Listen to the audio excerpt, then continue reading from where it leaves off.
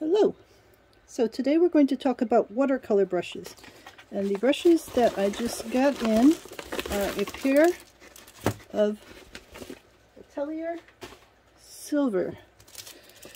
I love these styles of brushes. I mean, they are really useful as brushes and just really pretty as objects to have as well, which then draws you into wanting to paint more and all that other kind of stuff. So I've got an 80 5225S gold Taklon quill and then a 120 5225S gold Taklon quill, both silver ateliers. So it's going to open these up. If I can even figure out how to open them up. If I can see where I put my scissors. so I'll do this without hurting them.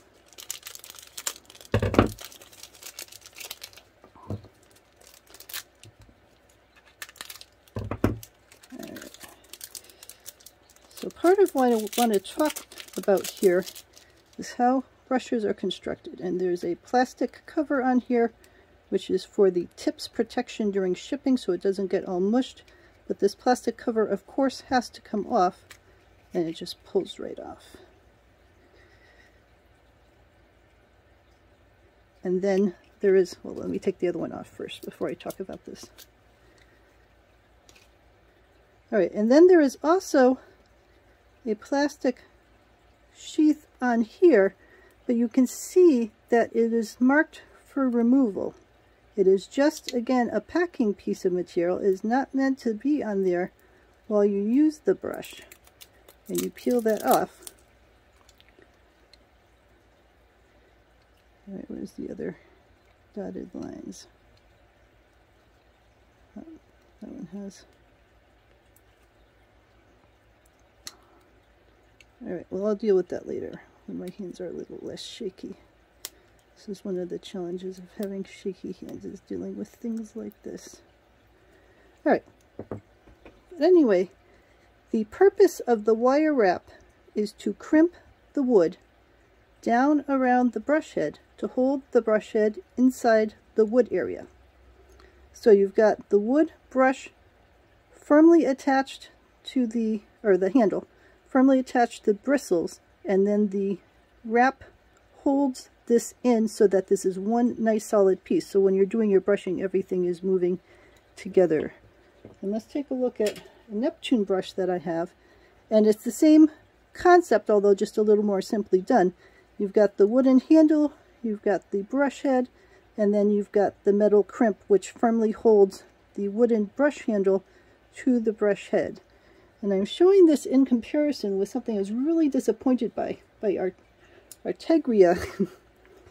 they came with brushes that had what looked like to be this kind of metal crimps to hold it together. And they had what looked like to be the plastic pieces, which is just a protective while you're tra transporting it.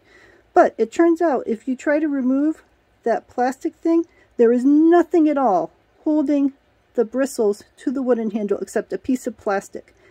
This wire wrap is sillily decorative. It's under the plastic and it does nothing at all. So its purpose is just to look like it's doing something when it's doing nothing at all. And when this is a free-floating piece of bristle down with a wooden handle and just a piece of plastic, which, you know, plastic is malleable and stuff, so you're not getting the same kind of control when you're holding it. And when I realized this, I was just incredibly disappointed with that brush system. So I highly recommend that you either get a solid piece of metal connecting the wooden brush head to the bristles, or you get the way that it's normally done, which is a wooden handle, the bristles going into the wooden handle, and then the metal crimps holding this down so that it holds the piece in place. This is what the metal crimps are supposed to be used for. They're supposed to be used as a connector tool to hold the handle to the brush. But anyway, back to this set of brushes. Brushes come with a protective layer on them to hold the shape of it and you need to rinse them out in water a little bit to be able to release that and get the brushes back to being usable as watercolor brushes. So once you get that protective layer out, then they function the way that one would expect. But don't think that right out of the uh, gate they're going to be working like watercolor brushes. And there we go. I can feel it starting to soften up.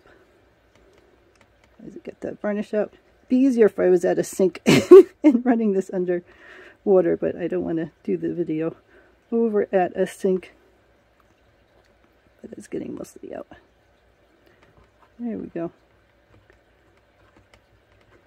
And you can feel it in your fingers when they loosen up. And get that off. Alright, so that one's done. This one is coming done. Well, here, I might as well just, now that this one is cleansed. And like I said, you can feel the goo as it comes out to know when it's nice and clean. And it'll clean off you in your first use or two anyway, so. We'll just leave that for a second. So it just so happens that I have here, I was just doing a test with some black watercolor paper. So I'll put that up. This is the black watercolor paper I was testing on. It happens to be by Stonehenge. And put this over here. And this is a Winsor Newton Cotman with some metallics. So, oh, that's just That is so nice feeling. And it's very, you know, you get different sizes in here, but I really like these large sturdy ones. My hands are a bit shaky, as you probably noticed.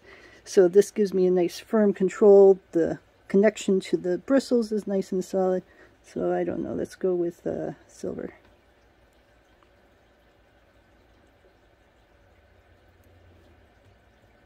And that is just so pretty.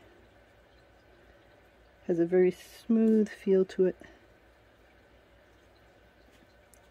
So I'm very happy with the brushes. And the ones I got are for larger paintings.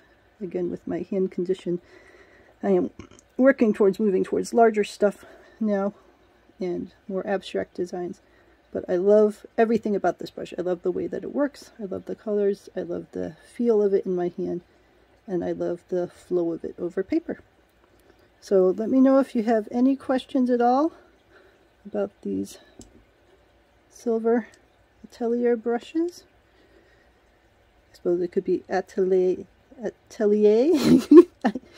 I, uh, says it was made in China, but you know you never know if something has a French origin. So these are the 80 5225S and the 120 5225S silvers. You can see the tips, the beautiful shape to them.